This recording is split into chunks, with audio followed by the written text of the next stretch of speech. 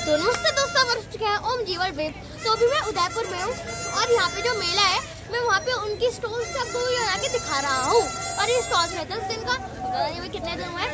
पर जैसे कि अभी मैंने आपको मिट्टी के बर्तन दिखाए पर मिट्टी तो कभी ना कभी तो टूट ही जाएगी। पर जो लोहा है, वो कभी नहीं टूटता। तो यहाँ पे राजकुमार भैया है। ये छत्तीसगढ़ से हैं और वो ये यहाँ पे जो देख रहे हैं, पूरा आयरन का है और इसको खुद ही आयरन निकालते खुद ही बनाते हैं। देखिए। जब इसको टच कर रहा हूँ ना तो जब हम मिट्टी को टच करते हैं तो आवाज़ नहीं आती जब हम मिट्टी को ऐसे टच करते हैं ना तो उसके ऐसे कुछ यानी कुछ घूमता है ऐसे हाथों में कुछ फील होता है। तो भैया जी ये जो ये बना के लाते हैं छत्तीसगढ़ से बना के लाते हैं छत्तीसगढ़ में बनाते हैं अपने घर में बनाते हैं। ये कैंडल स्टैंड है। ये आपका दीपक जलाने के लिए होता है। इसका प्राइस है वह वन फिफ्टी करके। और कुछ डेकोरेशन सामान है। डेकोरेशन सामान है इसमें। और ट्रेबल आर्ट है की हैंगर्स है और सन है और साथ में कैंडल स्टैंड है और आपका लालटेन बना हुआ है घंटी दिया है गणेश दिया है और पैनल बना हुआ है म्यूज़िक सेट है और नाव बना हुआ है। ये है? फाइव फिफ्टी का है। देखिए अब इसके आवाज़ सुनिए। अलग आवाज़ आ रही है ना? पर ये क्या है? वो दिया जलाने के लिए ये भी। हाँ। अच्छा ये कितने का है सर ये 550 का। का है। और ये? सेम प्राइस है। और? ये लाइटें है 1000 का। 1000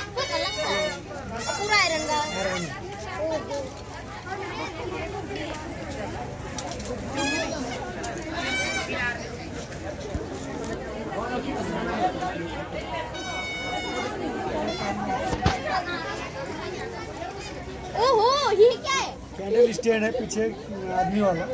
ये टेबल आदमी है आदिवासी होता है बस्तर का। ओ भाई। ये तो अलग सा ही। है दोनों आदमी ऐसे बैठे हुए और बीच में दिया जला रखा है लग रहा है तो चिपका दिया ताकि नीचे ना गिरे ऐसे दो बैलेंस और ये क्या? ये की हैंगर्स है हॉर्स है देखिए लग रहा है वो ऐसे लेटा हुआ जबकि कभी लेटता नहीं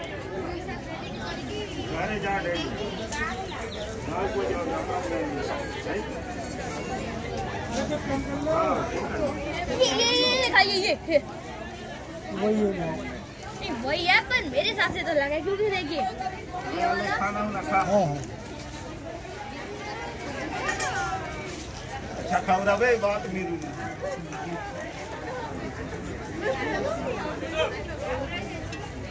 दोस्तों, इन दोनों को देखिए। उस देखिए, ये ये वाला अलग है वाला अलग अब देखिए, अब मैं आपको अपनी माँ की ममता दिखा और इन्होंने इस हिसाब से बताया भी है। ये ही जो आदिवासी लेडी है, और ये अपने बच्चे को लेके बैठी हुई है। एकदम अलग सा है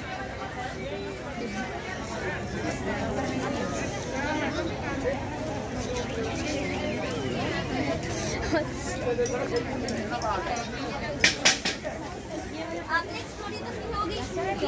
दोस्तों, आपने स्टोरी तो सुनी होगी कि एक आदमी होता है जो अपने गधे को लेके उसके मालिक ने कहा होता है कि तू इस गधे को वहाँ पे बेच के आई हो।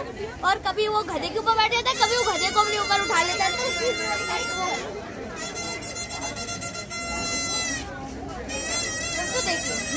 इसको अच्छे से तो बना पाए पर इसको देख के इस वाली स्टोरी की याद आ रही है कि आदमी गधे को उठा लेता है या आदमी उसके ऊपर बैठ जाता है, लोग उसको क्या क्या कहते रहते हैं। उसका, उस कहानी से हमें यही सीख मिलती है किसी की बातों का।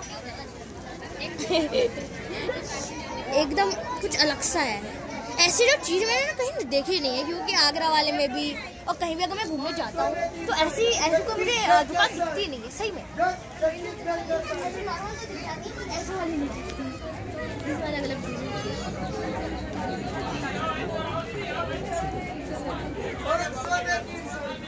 दोस्तों अगर आप उदयपुर में हैं। तो यहाँ पे आके जितने भी राजकुमार भैया जी के स्टॉल पे आइए यहाँ पे जो मेला है अगर आप हैं।